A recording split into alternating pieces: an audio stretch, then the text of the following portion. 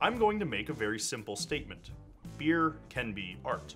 And that's not especially difficult. In fact, I think a lot of people agree with me on that point. However, where my very simple statement becomes more complicated is in what it implies. Beer can be art really means that some beer can be art.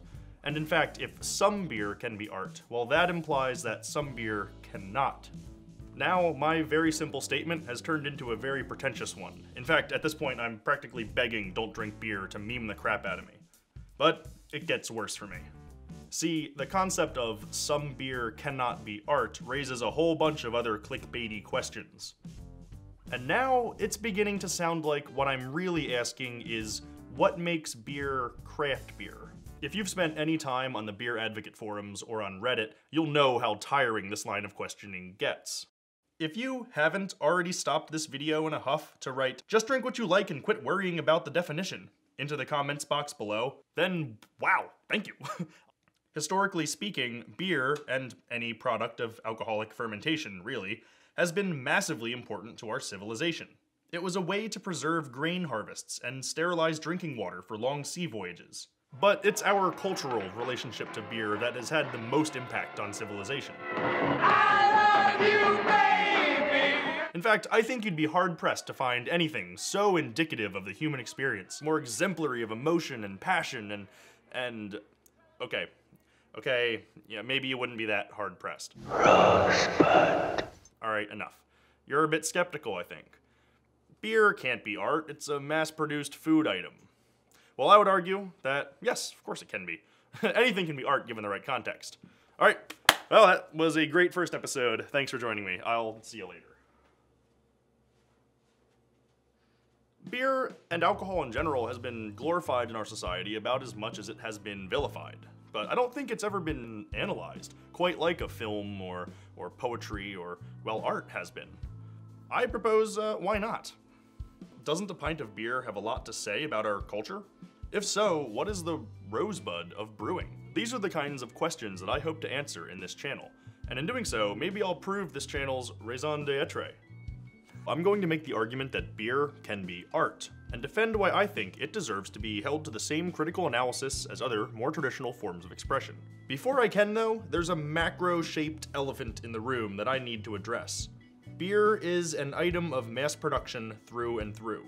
Even the smallest setup I'd consider viable for a startup brewery would be five barrels, which means I'd be making around 10 standard kegs of beer per brew day. If half of that goes into packaging, that's 1,200 individual 16 ounce cans, with another 1,600 12 ounce pours at the bar. With that in mind, let's start at the macro end of the spectrum. Let's start with macro lagers. In order to do that, though, we need to take a trip down memory lane. In 1975, we brewed the original light beer with more taste and only 96 calories. Oh, yeah, you heard that right. They just claimed they invented a style. The first light lager was actually developed by Joseph L. Owades at the now defunct Rheingold Brewery in New York in 1967. The beer was called Gablinger's Diet Beer, a nod to the English patron not quite saint of brewing Gambrinus. This diet beer was by all accounts a tremendous achievement in the brewing industry, using a never before heard of process to remove calories from finished beer. If you want another sort of analogous example, talk to anybody in the brewing industry about how Left Hand bottles their nitro stout.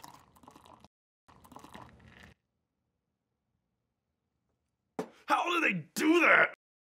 It was also a tremendous marketing flop. See, the primary drinking audience back then was men, and, well, boy howdy, was a lot of masculine identity tied up in being a powerful drinker.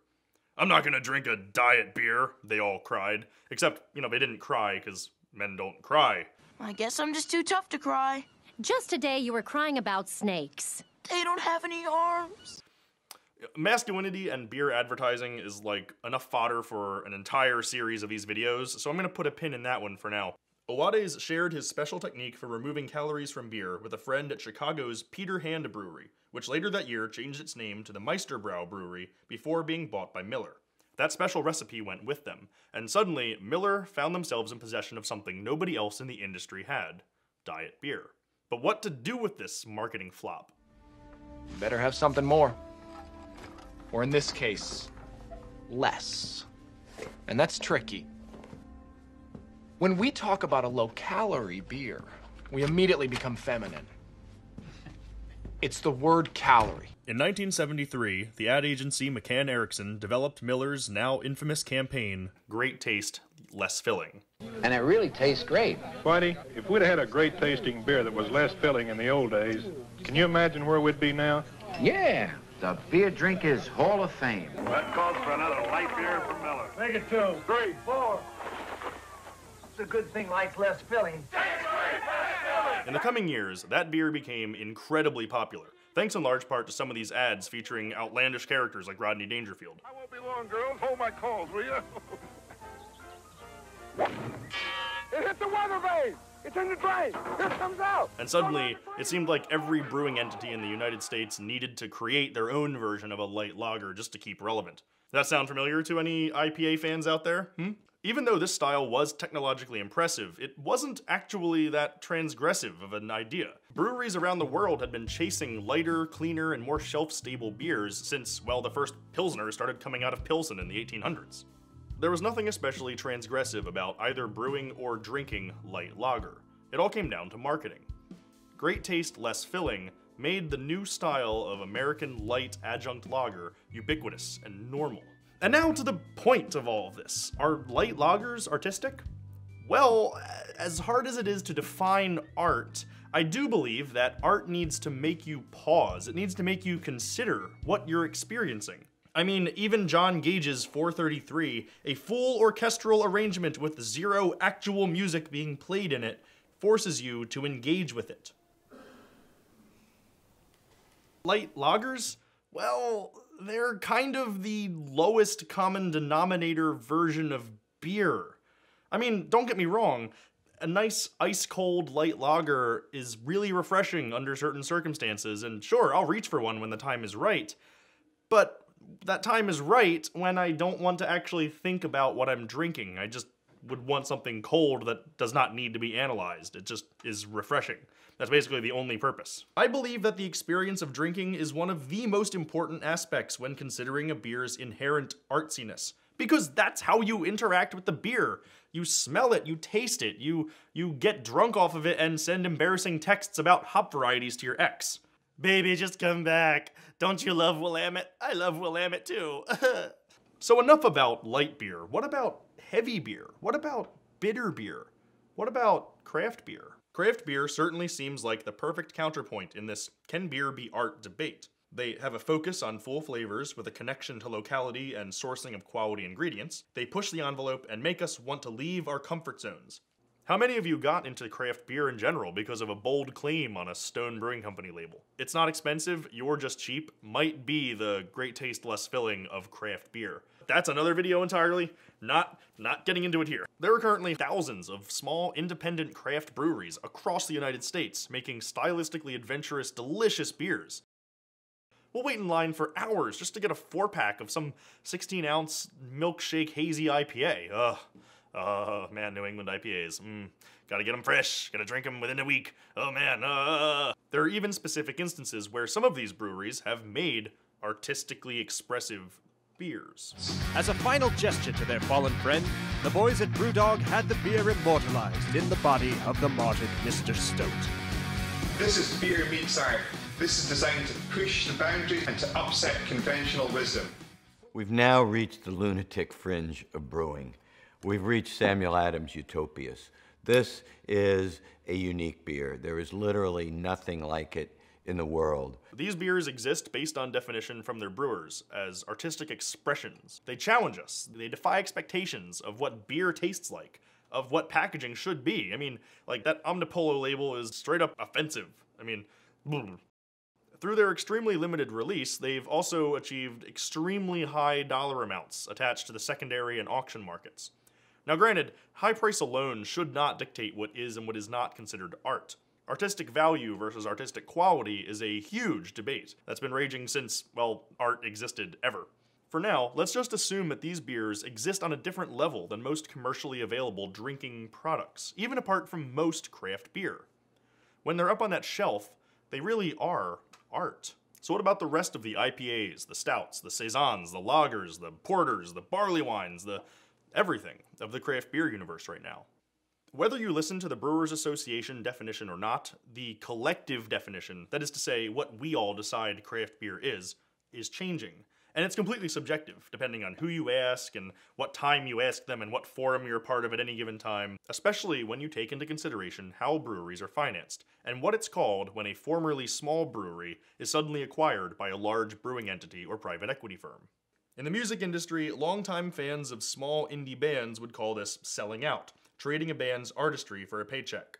Ask any old school Modest Mouse fan what they think of good news for people who love bad news, and you'll see exactly what I mean. Lonesome Crowded West was the greatest album of all time, and good news for people who love bad news is pop trash, meh. Of course, the band can come back and say that access to better studio equipment and better producers allows them to create their art better. At the end of the day, though, the motivation for creation matters. See, those producers get paid more when the band makes better art. See where I'm going with this? Look at the world of high end cooking as well. There are some people who would argue that high end chefs are considered artists, likening their performance in the kitchen every night to a Broadway performance. Chefs have to answer to investors, though, and in order to run a successful, profitable restaurant, the dishes they create cannot be so transgressive as to turn away customers. Do these pair well with an IPA? It goes well with all letters IPA, CSI, PTA, IRS. The food they create has to transcend the human experience of simply eating, but as food served at a restaurant, not enough to drive patrons away from buying and consuming a plate. It's made with black garlic. Uh, it's a fermented garlic. It comes from Korea. Don't blame Korea for your stupid burger, Bob. Whether it's a hot dog or a 28 day dry aged steak, it has to be consumed to fulfill its purpose as food. A painting is consumed once you look at it, but the act of consumption does not destroy it, it remains on the wall. The steak and the hot dog are both food, but what is undeniable about the two is that they are different. See, they both objectively have the same value as pieces of food that we have to eat in order to be sustained. However, subjectively, they both have extremely different qualities. If all we as humans needed out of the eating experience was sustenance, we'd always seek out the cheapest and lowest common denominator version of it and get on with our day. Obviously, we don't do that, or at least we try not to. We go out and eat at fancy restaurants and spend time cooking lavish meals at home for a reason. We choose to drink craft beer for a reason. So is that growler of double IPA you waited all day in line for considered art? What about the six month bourbon barrel aged barley wine? What about the beer served in a dead squirrel? What about the can of light lager from the gas station? Before we finally answer the question, can beer be considered art? Let's take a look at one final example. Rosebud. Film is an artistically expressive medium, and within that medium are works that are absolutely considered fine art. But not all movies are the same artistically. Wherever you fall on the artistic value versus quality debate, it's pretty clear that Citizen Kane is not the same as Transformers. I am directly below the enemy scrotum. One is a steak, the other is a hot dog. Despite those differences, though, there exist critical, in depth analyses of both works.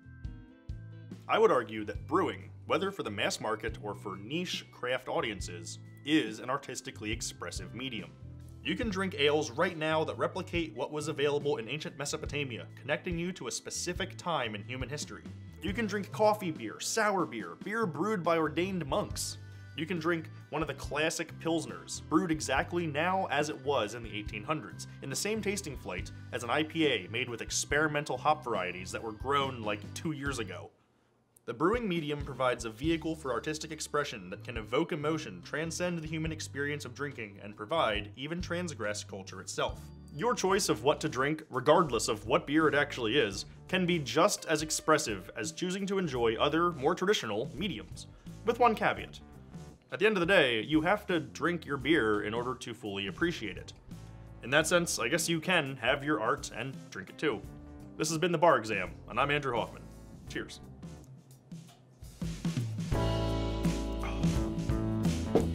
One and done! Woo! One take Andy, more like 8,000 take Andy, huh?